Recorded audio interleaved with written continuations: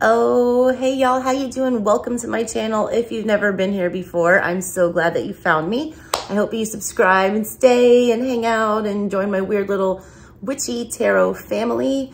Um, yesterday on my other channel, Southern Strega Studies, I unboxed the Stranger Things Tarot and I ended up doing a three card pull for all the signs and nobody watched it. So I'm chopping it up today and doing individual videos so that you guys can all see it all 30,000 something of you guys. I still can't believe that.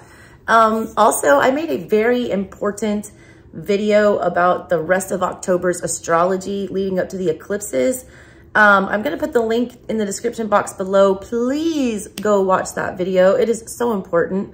Um, this Pluto in Capricorn transit that we're about to go through into Aquarius is really crazy energy. And I just wanted you guys to be aware of it. So check that out. Also, if you wanted to book a personal reading, I am running a bunch of really good specials for the month of October, including a shadow work reading. I only do shadow work in the month of October. So if you want a shadow work reading from me, you need to book it now because it will not be available again until next year. Anyways, here we go. Let's get started with your reading. Um, enjoy your little taste of the Stranger Things tarot and happy spooky season. Love you guys. Bye. All right, let's move on to Aries. All right, what's going on with Aries?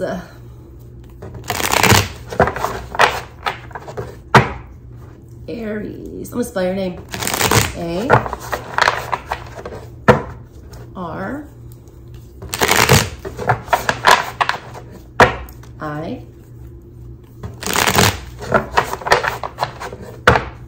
E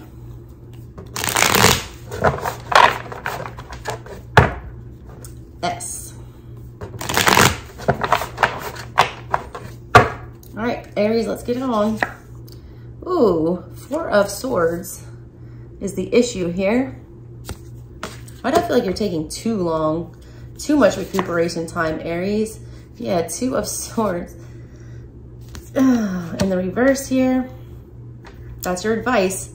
Stop sitting in this energy. Stop over analyzing. You got two of pentacles in the reverse for what you should not do. On the bottom of everything is the king of spokes, the king of cups in the reverse. You got your feelings hurt, Aries.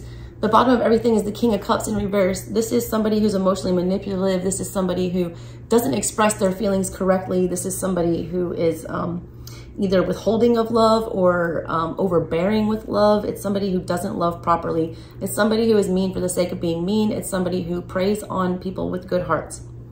You, um, the, the issue here is that you're still trying to get over that. You're still trying to recover from that.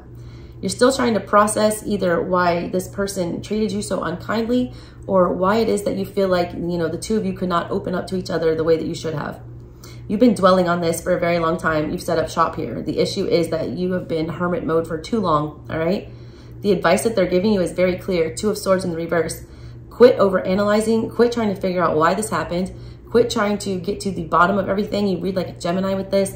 It's like you can't process why this pain happened or why these actions happened or why a lot of you guys did something that you regret and you can't understand why you acted in such an immature way. All right. It goes both ways. Either someone did this to you or you did that to them. What they want you to stop doing, all right, the advice that they're giving you is two of swords in reverse. To just get over it, you know, make a choice. You have to pick one direction or another. You can't sit in limbo anymore. Two of swords energy is about sitting in limbo. Four of swords energy is sitting in limbo. You're laying down in a coffin, like trying to sleep on this sort of truth. And like all you can think about is the pain. You can't get out of your little hole. Like you need to get out of the hole. They want you out of the hole. Cut yourself free from whatever this mental prison is that you're sitting in. It's emotional pain, it's emotional trauma, and it's like a need to be able to be able to express your emotions like in a very appropriate way, in a very true way. What they do not want you to do is Two of Pentacles in the reverse here. They don't want you to just tap out. They don't want you to give up. They don't want you to feel like you don't have any options. They don't want you, you know, just shutting down they don't want you to give up, all right? So all I can say. They also don't want you to think that, you know, you're too much. I don't know why I have to say that. Like, you're not too much. Don't feel that way. Don't feel like you're too much or that a relationship is too much or that you can't handle it or that it's going to throw you off balance. I feel you fearing that, all right? All right, let's read your cards here. The four of dice. Let's give you your book message. Four of dice upright as your main issue here. It says cooperative play can be wonderful, but sometimes what you really need is a break. Go see a movie at Starcourt Mall, hit up the arcade, or read some comic books. Whatever you do, the Four of Dice insists that you reclaim time for yourself. Solo adventures can help clear your mind, quiet your body, and leave you refreshed and ready for the next dungeon crawl. Problem is, is you've been in that energy for too long. Y'all are like distracting yourselves with video games or distracting yourself with reading or you know, sleeping too much or just refusing to, he's like checking out mentally instead of like making active decisions to do something. Um, your advice is the two of dice, which is the two of swords, and it was in the reverse for you. It says, your emotions are on high alert, making you extra sensitive to any misunderstandings. This can also mean that you aren't thinking clearly and are more susceptible to making rash decisions. Before you do anything drastic, sit out a few turns and return to the game with a clear head. They want you back in the game. They want you to clear your head. They want you to stop fixating on whatever this is that you're doing with this Four of Swords and put yourself back out there. Try again. I just got Aaliyah. Dust yourself off and try again. You can dust it off and try again. Yeah, if at first you don't succeed, dust yourself off and try again. Yeah, rip Aaliyah. What time was Aaliyah? I don't even know. Somebody look that up. Put it in the comments. Two of scoops in the reverse. This is what you should not be doing, all right? It says, when upside down, this card speaks to you of creating structure. As you incorporate something new into your life, you are going to need intentionally um, need to intentionally reassess and prioritize the other needs in your life.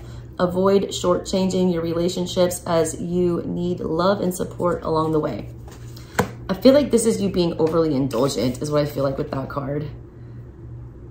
They don't want you to create structure. I feel like this is almost like the hermit when I see this Four of Swords here. Like you become so accustomed to being alone that it's like a routine. They don't want you in that routine, all right? They want you mixing things up, all right? All right, Aries, that was you guys. Let's move on to Taurus. All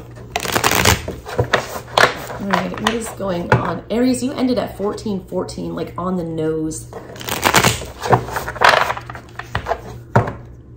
Temperance energy.